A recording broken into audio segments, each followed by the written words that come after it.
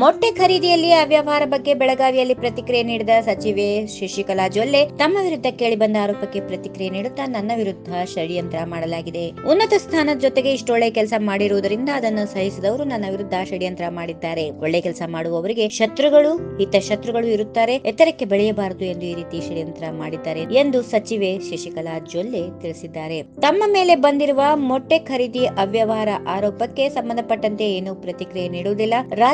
ರಾಜಕೀಯದಲ್ಲಿ ಇದ್ದಾಗ ಹೆಣ್ಣು ಮಕ್ಕಳು ಈ ಸ್ಥಾನಕ್ಕೆ ಬಂದು ಉತ್ತಮ ಕೆಲಸ ಕಾರ್ಯಗಳನ್ನು ಮಾಡುತ್ತಿರುವಾಗ ಅನೇಕ ಶತ್ರುಗಳು, ಹಿತಶತ್ರುಗಳು ಇರುತ್ತಾರೆ. ಮುಂದೆ ಹೋಗಬಾರದೆಂದು ಷಡ್ಯಂತ್ರ ಮಾಡುತ್ತಾರೆ. ಅವ್ಯವಹಾರ ಆರೋಪದ ಬಗ್ಗೆ ಯಾವುದೇ ತನಿಖೆಯಾದರೂ ಎದುರಿಸಲು ನಾನು ಸಿದ್ಧಳಿದ್ದೇನೆ, ಎಂದರು.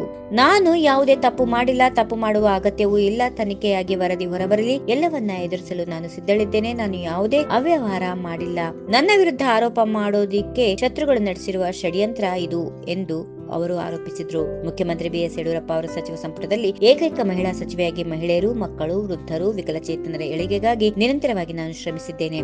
ಪಕ್ಷದ ಮುಖಂಡರು ನಮ್ಮ ಮೇಲೆ ವಿಶ್ವಾಸ ಇಟ್ಟು ಎರಡನೇ ಬಾರಿ ಸಚಿವ ಸ್ಥಾನ ನೀಡಿದ್ದಾರೆ. ಮುಂದಿನ ದಿನಗಳಲ್ಲಿ ಯಾವುದೇ ಇಲಾಖೆ ಖಾತೆ ನೀಡಿದ್ರೂ ನಿರ್ವಹಿಸುತ್ತೇನೆ. ಮುಂಬರುವ ಚುನಾವಣೆಯಲ್ಲಿ ಬಿಜೆಪಿಯನ್ನ ಅಧಿಕಾರಕ್ಕೆ ತರುವ ನಿಟ್ಟಿನಲ್ಲಿ ಪಕ್ಷ ಸಂಘಟನೆ ಮಾಡುತ್ತೇನೆ. ಸಿಎಂ ಅವರ ಸೂಚನೆಯಂತೆ ಕೊರೋನಾ ಮತ್ತು ಪ್ರವಾಹದಿಂದ ತತ್ತರಿಸಿದ ಸ್ಥಳಗಳಿಗೆ ಭೇಟಿ ನೀಡುತ್ತೇನೆ. ಜನರ ಜೊತೆಗೆ ಇರುತ್ತೇನೆ ಎಂದು ಅವರು ಹೇಳಿದರು.